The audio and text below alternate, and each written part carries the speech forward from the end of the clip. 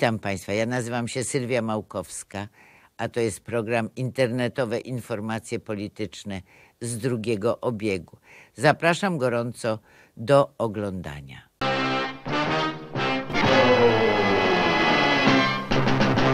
Moim gościem wprost ze swojego domu, dzięki wideo łączu internetowemu jest dzisiaj pan prezes Jarosław Kaczyński.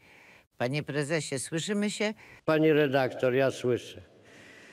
Zauważyłam, podobnie jak wszyscy widzowie, że wygląda pan nieco odmiennie. To prawda. Pani redaktor, otóż ja postanowiłem e, po przegranych wyborach odrzucić fałsz i nieprawdziwą rzeczywistość kreowaną przez wrogów Polski. Postanowiłem pokazać się w mojej prawdziwej formie. No, ale trochę ta forma jest przerażająca, panie prezesie. Prawdziwa. Przede wszystkim prawdziwa. Stańmy w prawdzie. Przegraliśmy te wybory, bo jesteśmy świnie.